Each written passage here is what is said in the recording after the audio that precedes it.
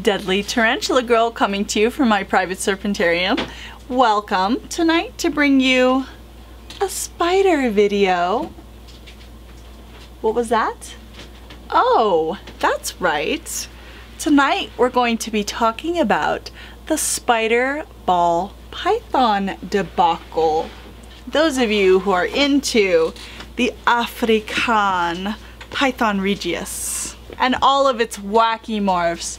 You've probably heard a lot about the ball python spider gene recently. And so I'm going to show you a couple specimens and we're going to talk a little bit about the history and the dangers of the spider gene tonight. Let's get started.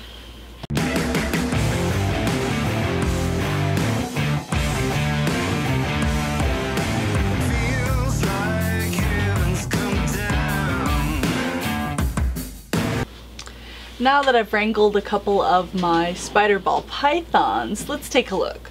This first beautiful specimen is an orange dream bumblebee, which is carrying the spider gene. Now, I would like to point out that a lot of people are talking about the animals that are carrying the spider gene and how deformed and maladaptive they are, that they have terrible head wobble, kinks that they're not eating, they shouldn't be reproduced. And this animal was reproduced by Lone Star Reptile. It is a yearling from 2018. This is an F1 Orange Dream from Ozzy Boids. Love both of those guys.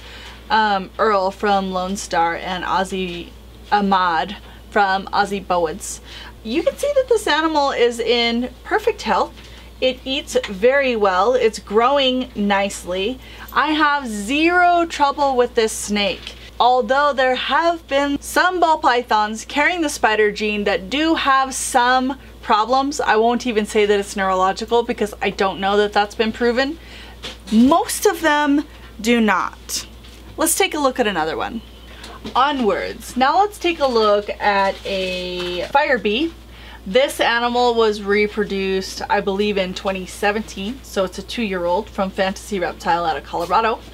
And you can see again, this animal has no issues whatsoever.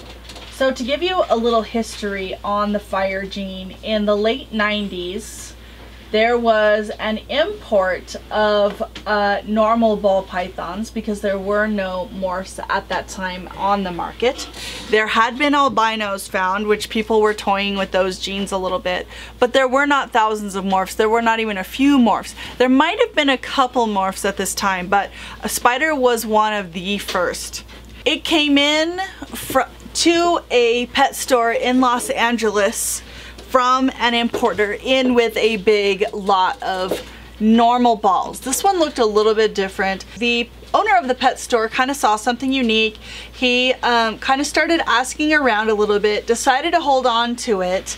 Kevin McCurley of New England Reptiles or Nerd got wind of it. Lindy Johnson of Freedom Breeder, both super stand-up guys who've been in it for a long time, stood the test of time. Long story short, Lindy ended up being allowed to purchase that first spider ball python from that pet store owner about a year down the road. Um, Kevin McCurley, uh, after that, was the first one to reproduce the spider gene and prove that it was actually a dominant gene, although that wasn't proven definitively until later. So one thing that makes the spider gene unique is that a lot of mutations that cause ball python color morphs are either recessive or codominant.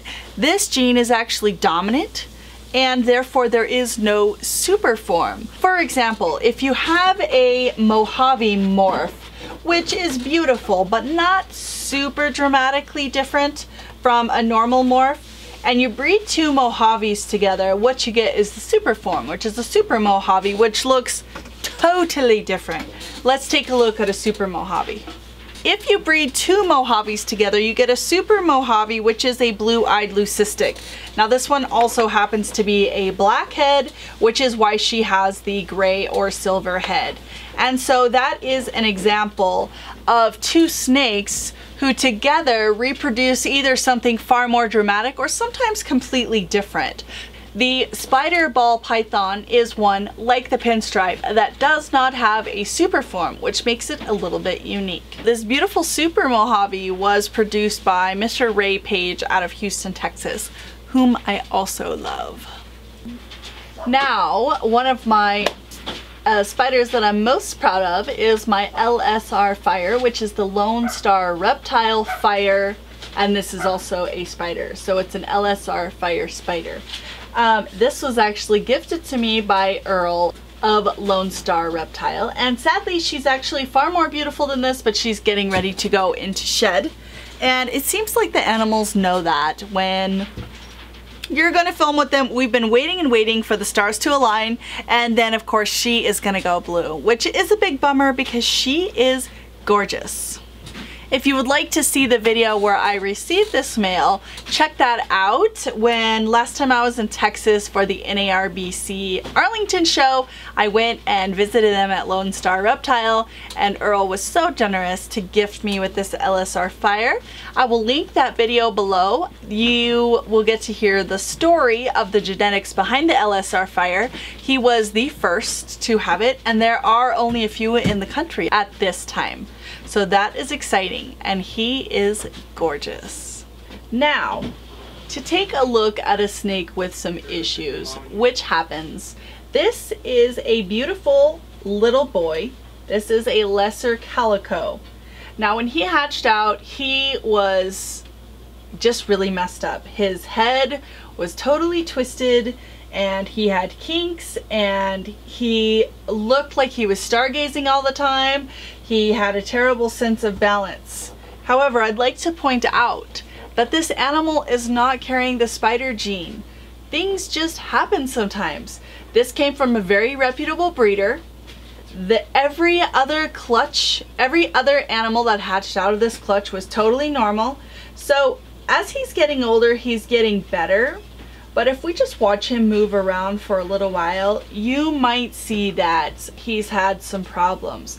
He's growing, he's feeding well. This is not an animal that I thought should have been euthanized.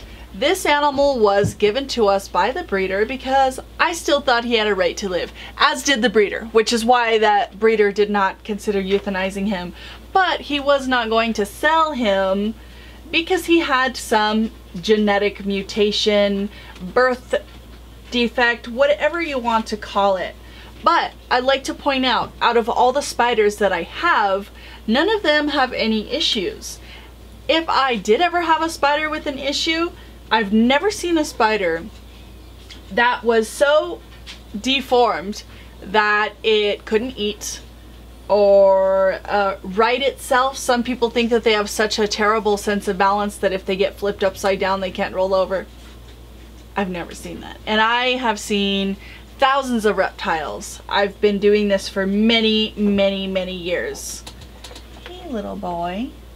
And I'm not saying it can't happen. What I am saying is it can happen with any morph, any genetic, any animal. I mean, we've all seen pictures of the occasional two-headed animal. That's usually a total anomaly. That has very little to do with genetics, or environmental care or anything like that. Statistically, some animals with the spider gene have been more likely to uh, be born with some type of birth defect. But actually, this animal looks very close to normal now. He's doing very well. Somebody could maybe consider that a slight head, head wobble. He looks good. You can tell he has a meal in his body. So I would like to go on the record saying there have been a few people, well, first of all, there's been one show in the UK that actually banned the sale and trade, the one expo, not nationwide, of anything with the spider gene. Spain has banned all ball pythons, and I don't think that has anything to do with the spider gene. Um, a few small YouTubers have come on the record recently saying terrible things about the spider gene and why they're so against it. And I have to say that I disagree. I'll say that. As a matter of fact, I disagree. The several people that I have spoken to in interviews about it Ahmad from Aussie Boids, who I have to say would know what he's looking at. Kevin McCurley of New England Reptiles, who has produced over a hundred thousand ball pythons. Brian Barczyk is not opposed to the spider ball python. These are men who have, they don't need the spider gene. They love the spider gene. They believe in the spider gene. The spider gene can create so many beautiful, amazing morphs. If we were to remove the spider gene from the ball python hobby, I think it would be a terrible loss. If ever I had an animal that had a birth defect, that is an animal that I would raise and love and grow, but never enter into my breeding program. I might even gift it to someone as a pet, which I have done before. I had a red tail boa that was brought to me through animal control and some other things. They, the vet who examined it didn't notice and animal control didn't notice that it had some kind of cyst on its spine.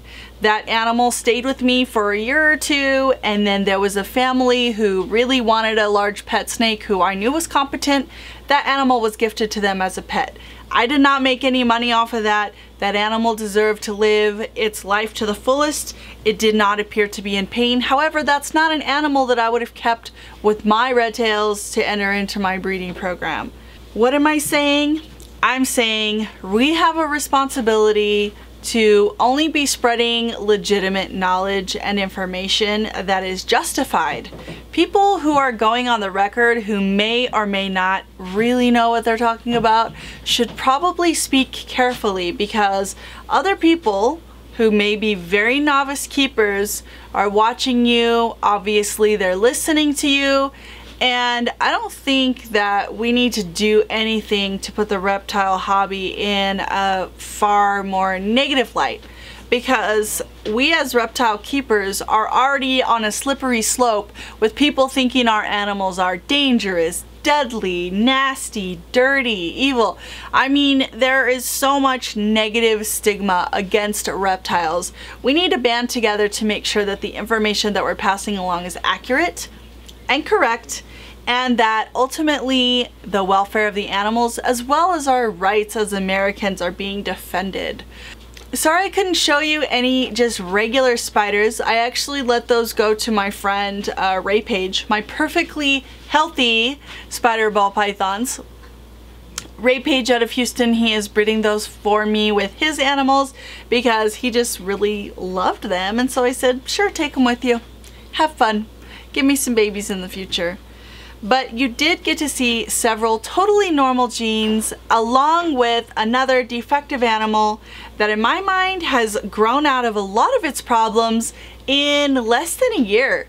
This animal hatched out probably in June of 2018 and here we are in April of 2019 and that animal is growing and thriving very well. Again, not carrying the spider gene. I hope you guys like this one. I hope this wasn't too confusing of a ramble. I hope you got a little bit of the history of the ball python. I want to thank Kevin McCurley, Brian Barczyk, and Lindy Johnson for all that they do. Ahmad from Aussie Boids, Earl from Lone Star, Wray Page, Isaiah Phillips out of Colorado, and everybody else that I've worked with. So many amazing breeders, so many amazing people. Thank you to you guys who are reproducing quality animals, educating the public, and just being amazing. I hope you guys liked this one. If you have any more questions about the spider ball pythons, you can comment them below or email me at deadlytarantulargirl at yahoo.com. What I do want to see is for you to comment your favorite spider ball python morph in the comment feed. I hope you guys like this one and I'll see you next time.